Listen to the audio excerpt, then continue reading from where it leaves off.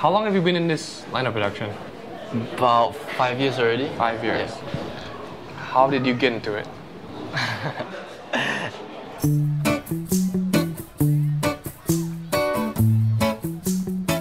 You know I love It's time to do something, Akid. Those words struck a chord with me. This was my chance. Like a worn out record. Wait, dude, why are you telling me about a girl? Wait, wait, I'll get to it. All my days are spent, all my cards are dead. You're right about what you said. I thought about it and I know what I want to do. So fast, ah? I'll study broadcasting too. Trying to ask Audrey out on a date is it? Why are parents so cruel? I really thought my father would have loaned me the money. Look at your life. Sleep late.